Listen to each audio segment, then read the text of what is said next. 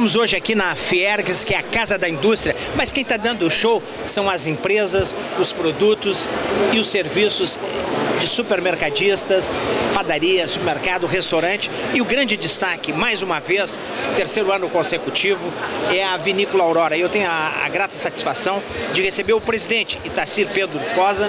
Itacir, prêmio exportação. Destaque na Agas. Não falta mais nada, né? Parabenizar é. mais uma vez pelo destaque. Obrigado, obrigado, mas eu sempre digo que uh, temos muito, muito a fazer ainda. Falta sim. A gente tem que estar todo ano mostrando produto novo e conquistando o cliente. Vocês têm produtos sempre que são destaques. Vamos falar sobre esses produtos aqui de vocês. Uh, esse ano nós estamos lançando o Alco Zero.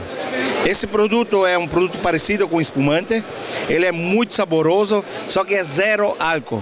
Nós tínhamos uma fatia de mercado que nós não estávamos explorando, ah, onde que certas religiões não permitem a bebida de álcool, festas de aniversário, diabético, diabético gente que tem tratamento constante.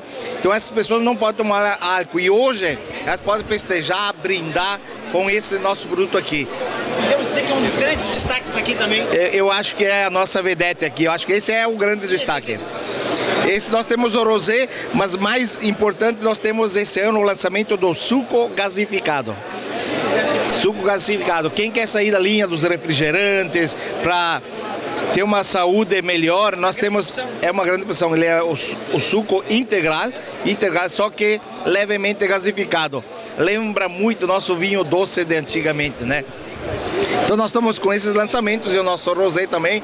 Rosé, e esse... É rosé para qualquer hora. Rosé para qualquer hora, uma bebida agradável, bem refrescante, né? Mas nós estamos apostando muito nesses produtos aqui esse ano, que são nossos lançamentos de, de, de primeira mão. Nós estamos acompanhando lá no Palácio Piratini que o setor do vinho tem sido olhado com mais carinho, com mais atenção nessas últimas duas semanas lá pelo governador do estado e também é, pelos setores dos bancos também, né? Claro, o setor do vinho é um setor de todos os pequenos produtores. Então são muitos produtores que dependem dessa uh, cultura.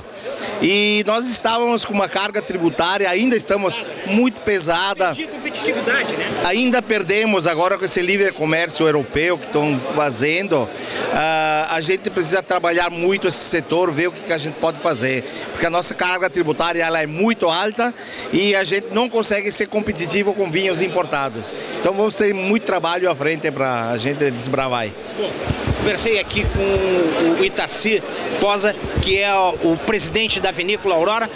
Tacir, mais uma vez, parabéns pelo prêmio exportação e parabéns por esse grande destaque, terceiro ano consecutivo aqui na Agas. Obrigado, obrigado a todos. A gente só tem a agradecer ao nosso consumidor, ao nosso cliente, que é quem nos leva a esse patamar.